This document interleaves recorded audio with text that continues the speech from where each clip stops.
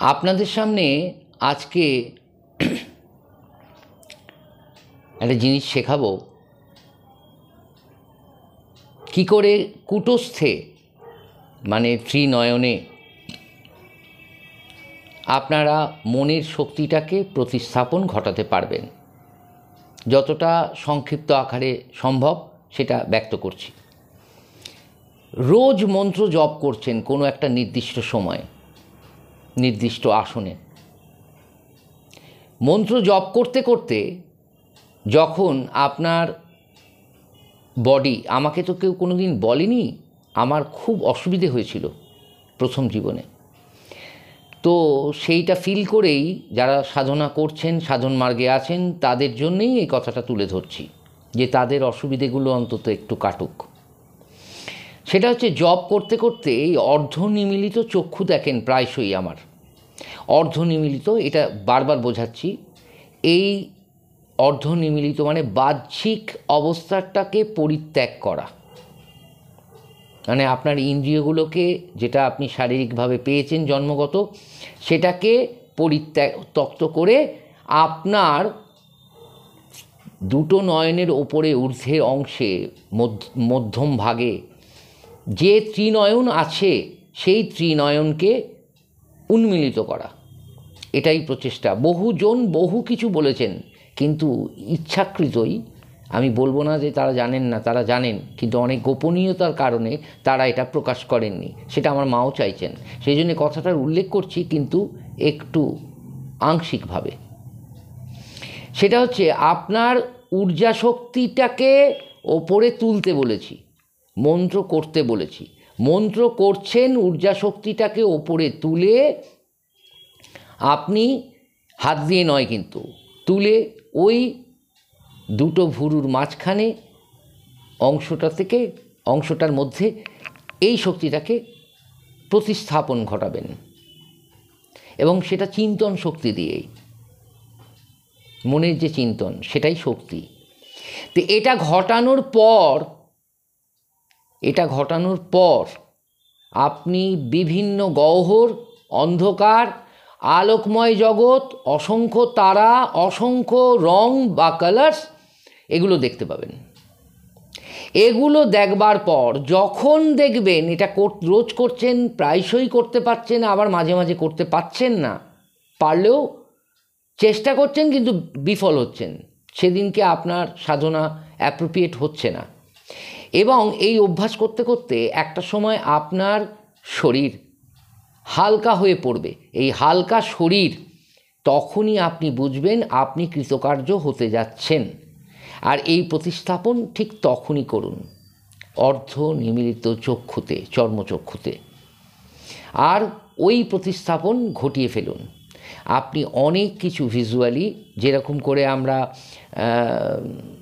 Negatives ছবি দেখে থাকি নেগেটিভস মানে ছবির ক্ষেত্রে ফটোগ্রাফির ক্ষেত্রে নেগেটিভসের অর্থ যা ঠিক তেমনই হালকা হালকা ভাষা ভাষা ছবি।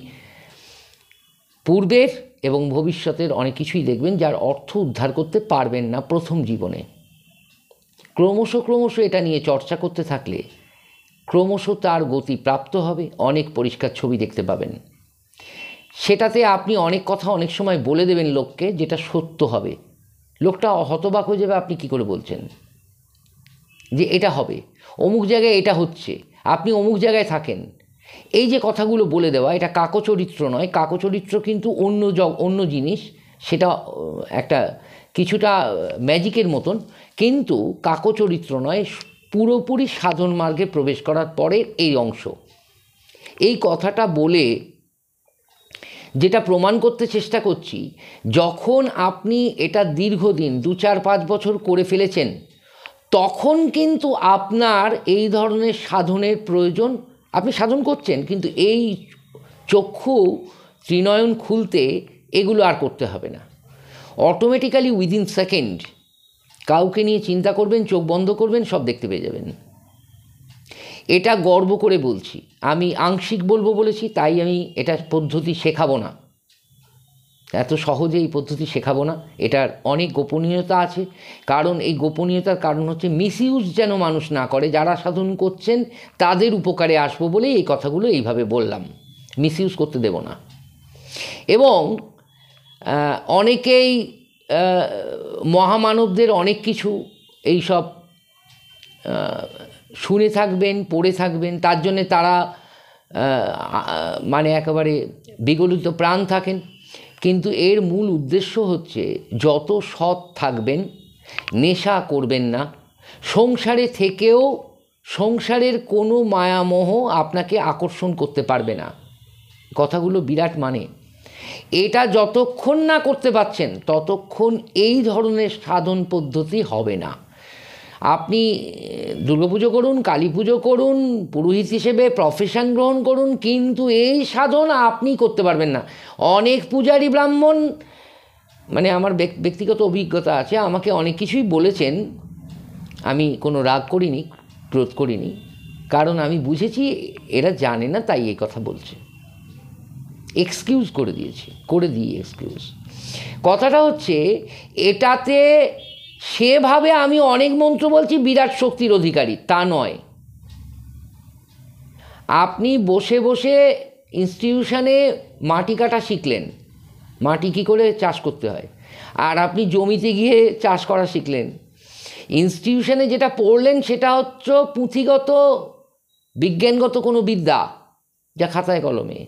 আর আপনি যেটা প্র্যাকটিক্যাল করলেন সেটা কিন্তু অনেকটা বেশি দামি। সুতরাং দুটোরই প্রয়োজন আছে, জানারও প্রয়োজন আছে, আবার সেটা ইমপ্লিমেন্ট করারও প্রয়োজন আছে। সুতরাং ইমপ্লিমেন্ট করতে গেলে যে ধরনের কাজ করার দরকার, সেটাই ব্যক্ত করছি। বলেছি সংক্ষেপে বলব, চেষ্টা করব উইদিন টেন মিনিটস এই কথাগুলো শেষ করার।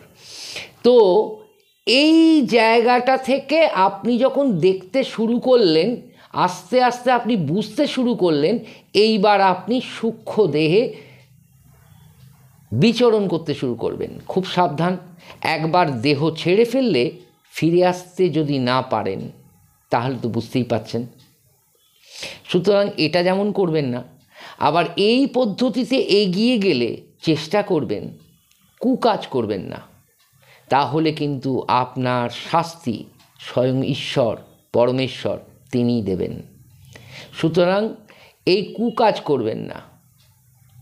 ঠিক আছে? সেই জন্যে রামকৃষ্ণ, বামদেব এদের অর্থ দিলে এদের গায়ে ফোসকা পড়তো। এরা কুকাজ করতে চাইতো না, জোর করে লোকে কিছু দিলে ওই মায়ের নাম করে তুলে রাখতো মায়ের সিন্ধুকে। কিন্তু নিজেরা নিত না, হাতে করে নিত না। আর ছুঁলেই রামকৃষ্ণদেবের তো এমন অবস্থা ছিল। অর্থ আপনি, আপনারা জানেন হয়তো যে বিছানার তলায় অর্থ রাখা হচ্ছে, সারা শরীর জ্বলে যাচ্ছে। ব্যাপারটা ওই যে সমস্ত ত্যাগ করতে পেরেছিলেন, তারা মহামানব।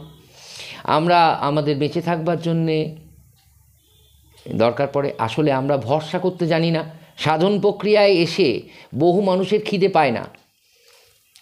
আবার অনেকে শুনে বলবে এটা পিওরলি লিভারগত রোগ। হ্যাঁ না। ঈশ্বর খাওয়ানোর ব্যবস্থা করেন। আপনি যদি পুরো মাত্রায় সেই ঈশ্বরকে নিজের যষ্টি ভেবে ধরে ফেলেন, তাহলে আপনার এই জাতীয় ঘটনা ঘটবে, আপনার খাদ্য জুটে যাবে। এখনও অনেক গুহায় মহামানব আছেন, যাদের আমি অনুভব করি, বলব না। তারা ইচ্ছা করলে অনেক খাদ্য আপনার সামনে উপস্থিত করতে পারেন যখন তখন। কিন্তু তারা রন্ধন করেন না। সুতরাং এগুলো আজগুবি নয়, এগুলো সত্য। সেই মহামানবদের দেখা আমাদের ভারতবর্ষে কিছু মানুষের ঘটেছে। তার তার মধ্যে কিছু মানুষ কলকাতার আশ পার্শ্ববর্তী এলাকায় থাকেন আমি অনুভব করি। সেই মানুষটাকেও আমি অনুভব করেছি, আমি নাম করছি না, ইচ্ছাকৃতভাবেই। তো এরকম অনেক মানুষ আছেন যারা নিজেদের প্রকাশ করেন না এবং লোকের থেকে দূরে থাকেন, কারণ এটা বিনষ্ট হয়ে যাবে বলে ভয়ের চোটে আর এই ইমপ্লিমেন্ট সত্যি সত্যি করতে জানলে, যদি করতে পারেন, তাহলে একদা গিয়ে আপনি লোকের উপকারেই কাজ করবেন। অনৈতিক কোনো কিছু করবার প্রবণতাও জাগবে না। ঈশ্বর আপনাকে দিয়ে ওটা করিয়ে নেবেন। ধরুন কেউ বিপদে পড়েছে, বহু দূরে থাকে, আপনার কাছে চলে এলো, আপনি জানবেন, আপনার ঈশ্বর ওকে ওখান থেকে টেনে নিয়ে এসে আপনার কাছে ফেলেছে তুই যা পারিস কর। এখানে যদি অর্থের লোভী হন, অর্থ অর্থ ছাড়া কাজ করবেন না, অনেক অর্থ। তাহলে কিন্তু আপনার একটা দুটো কাজ হবে, তারপর থেকে ওই গুণটা চলে যাবে ভ্যানিশ হয়ে যাবে ভ্যানিশ ছবি আঁকতে গিয়ে ভ্যানিশিং পয়েন্ট পেয়েছিলাম। কাকে বলে ভ্যানিশিং পয়েন্ট থার্ড ডাইমেনশন আমরা এই যে সাধন জগতের কথা বলছি, ছবি আঁকায় থার্ড ডাইমেনশন শিখেছিলাম। সাধন জগতে এসে আমি পারি। ফোর্থ ডাইমেনশন যেটা জ্ঞানগঞ্জের কথা বলব। বহুজন শরীর নিয়ে জ্ঞানগঞ্জে পৌঁছতে পারেননি। সূক্ষ্মদেহেই পৌঁছতে হয়। এবং সেটা ফোর্থ ডাইমেনশন ভারতবর্ষের অনেক প্রান্তে পৃথিবীর অনেক জায়গায় এই ফোর্থ ডাইমেনশন কাজ করে। কৈলাস পর্বত মানে লোকে দূর থেকে দেখেছে, পর্বতকে আবিষ্কার করতে পারছে না। তার কারণ হচ্ছে centre point of the vanishing point centre point চারদিকে চারটে ফোর্থ ডাইমেনশনের অংশ আছে এবং প্রত্যেকটার পরিমাপ সম সম পরিমাণ আর কি।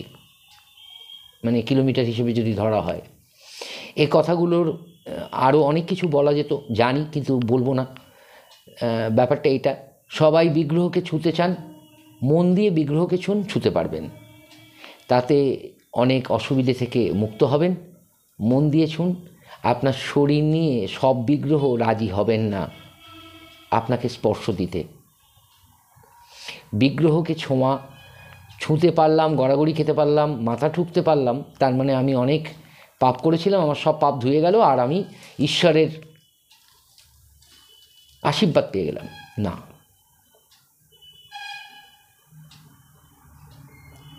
আপনার বাড়ির দুয়ারের বাইরে এক ভদ্রলোক এসে দাঁড়িয়ে স্মিত হাসছে। আপনার সঙ্গে কথা বলছেন বড়জোর কর্মোদ্যম করতে পারেন, না হলে ওই, ওইভাবেই কথা বলে উনি দাঁড়িয়ে আছেন। আপনি কথা বলে যাচ্ছেন। অনেকক্ষণ পরে খেয়াল হলো, আরে ভদ্রলোককে তো ভেতরে ডাকা হলো না। দাদা, আপনি ভেতরে আসুন। যতক্ষণ না আপনি অনুমতি দিলেন, ততক্ষণ উনি ঢুকবেন না। এই চরিত্রটা ঈশ্বরের ক্ষেত্রে ভীষণ প্রয়োজন। ভীষণ প্রয়োজন এই চরিত্রটা। জানি না আপনাদের উপকারে আসব কি না ছোট ছোট অনেক ঘটনা, যেটা বৃহৎ আকার নেয়। সরলভাবে, একদম সরল করে বললাম, আমাদের যে নিহিত শক্তি, বং শক্তি সেটাকে তুলে ওপরে ধরে, মেলে ধরে চক্ষু, চর্মচক্ষু বন্ধ করে কুটস্থে তার প্রতিস্থাপন ঘটিয়ে ত্রিনয়ন খুলতে পারেন। সূক্ষ্ম দেহে অনেক স্থানে বিচরণ করতে পারেন। ফিজিক্যালি আপনি যাচ্ছেন না, কিন্তু পরবর্তী ক্ষেত্রে দেখবেন কোথাও আঁচড় লাগতে পারে, কোথাও কিছু লাগতে পারে, সেটা নতুনদের হয়, যারা একটু পুরনো হয়ে গেছে, তাদের এটা হয় না। আর বিশেষত অনুরোধ, বর্ষাকালে প্রচণ্ড বৃষ্টি বা বজ্র বিদ্যুৎ এই অবস্থায় সাধন প্রক্রিয়া বন্ধ রাখবেন, আমি করি, করতে পারি। কিন্তু আপনারা প্লিজ করবেন না। এটা অনুরোধ করলাম। আর ওয়েদার ভালো থাকলে করবেন। আর প্রচণ্ড হাড় কাঁপানি শীতে বাইরে বিচরণ করতে যাবেন না। এটাও নিষেধ করলাম। গুরুর কাজ, আমি গুরু নই কিন্তু। গুরু নই, খুব সাধারণ মানুষ, সাধন করি মাত্র, এক সাধক বলতে পারেন। গুরুর কাজ, আপনাকে এই নিষেধগুলো বুঝিয়ে দেওয়া কেন কি? সেই জন্যে গুরুকে, সৎ গুরুকে খুঁজে বার করবেন। যে গুরু আপনার পদ মানে তাকে পদসেবার জন্যে আকর্ষণ করবে না, সেই গুরুকে নির্ধারণ করুন। তবেই সাধন মার্গে চলতে পারবেন। আর কারুর অনিষ্ট করে ফেললে আপনাকে সেই অনিষ্টের প্রতিদান দিতে হবে। আপনার ইষ্ট দেবতা আপনাকে ছেড়ে দেবে না। যেমন ভালোবাসবেন, তেমন শাস্তিও দেবেন। পিওরলি টিচার আপনার মাস্টারমশাই এর মতন। মাস্টারমশাইয়ের মতন। তিনি শাস্তি দেবেন। আবার আপনি যখন ভুল বুঝে সেই জায়গা থেকে বেরিয়ে আসতে চেষ্টা করবেন, তখন ঈশ্বর আপনাকে মুক্তও করবেন, কিন্তু ততক্ষণ কষ্ট পাবেন যদি কারুর অনিষ্ট করেন। বহু মানুষ আমাকে অনিষ্ট করবার চেষ্টা করেছে। মানে কোনো একজন তো এই ধরনের বিচরণ ক্ষমতা আছে, তিনি সামনে প্রকাশ করেননি, তিনি রাত্রিবেলা যখন সাধনা করছি, আমাকে স্পর্শ করতে এসেছিলেন ঠাস করে এক চর। লোকে দেখে বুঝতে পারবে না কী চর মারলাম। ঠাস করে এক চর। তাকে বুঝিয়ে দিয়েছিলাম, সে বড় মাপের মানুষ তার প্রতিযশ আছে, অর্থ আছে, আমার মতন নয়, ভিকিরি। আমি ভিকিরি মানুষ। চাকরি হারিয়ে রোজগারও বন্ধ হয়ে গেছে, যাকে। তো কথা হচ্ছে তাকে ঠাস করে মেরেছিলাম, সে আর জীবনে মুখ হয়নি। বুঝে গিয়েছিল যে আমি কি জিনিস। ও ভেবেছিল ও অনেক উচ্চ মার্গের। এবার যখনই সাধনা করবেন, এই মার্গে পৌঁছবেন, ধাপগুলো আপনাকে আপনার ইষ্ট দেবতা বলে দেবেন। সেজন্য কেউ যদি বলে, আমি এই ধাপের অধিকারী, সেটা বিশ্বাস করার দরকার নেই। বাজিয়ে দেখুন প্রত্যেকটা ধাপ আপনি যদি প্রতিদিন মানে অকেশনালি কোনো জন্মদিন, কোনো কিছু তিথি নক্ষত্র দেখে যারা পুজো করেন, তারা কিন্তু সংসারী। আর যারা সারা বছর ধরে সব তিথি, সব নক্ষত্রেই পুজো করেন, ঈশ্বরকে ডাকেন, তারা কিন্তু সাধু। তফাৎটা এখানে। সকলকে প্রণাম, ভালোবাসা, অভিনন্দন। আর সুন্দর বাক্য বলে সরল করে এই কথাগুলো আপনাদের সামনে তুলে ধরবার চেষ্টা করলাম। ভালো লাগলে লাইক, শেয়ার, কমেন্ট করবেন। আর যদি আমার এই চ্যানেলের সঙ্গে জুড়ে থাকতে চান, অবশ্যই নিয়ম মাফিক সাবস্ক্রাইবটা করবেন। কিন্তু আমি বলছি না কখনো যে আপনাদের কাছ থেকে আমার কিছু প্রাপ্য আছে, এইটুকুই খালি দাবি করলাম। আজ রাখছি। ভালো থাকুন সকলে।